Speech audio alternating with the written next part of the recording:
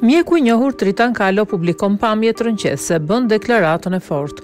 Mjeku i njohur Tritan Kalo ka postuar në Facebook një foto ku ndan me njerëzit një foto të dy njerëzve të cilët kishin kaluar natën më të ftohtë të këtij dimri jashtë në shkallët pranë bibliotekës në kryeqytet.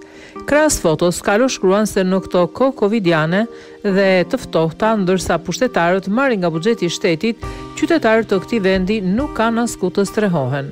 Kurrë mos harroni se edhe ata, dhe jo vetëm, janë bij dhe bija të këtij vendi, janë vëllezërit dhe motrat tona, përfundon mjeku. Ja dhe postimi i plotë.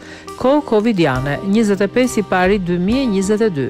Mbrëmë dhe sot, njëzet e katër orëshi më i ftohtë i këtij dimri, Ndërkohë që lukunia pushtet shtetbërëse çirret për drejtësi dhe vijojnë shqyerjen e tortës buxhetore, qytetarët e saj e kalojnë acarin e natës në kushtet e mëposhtme.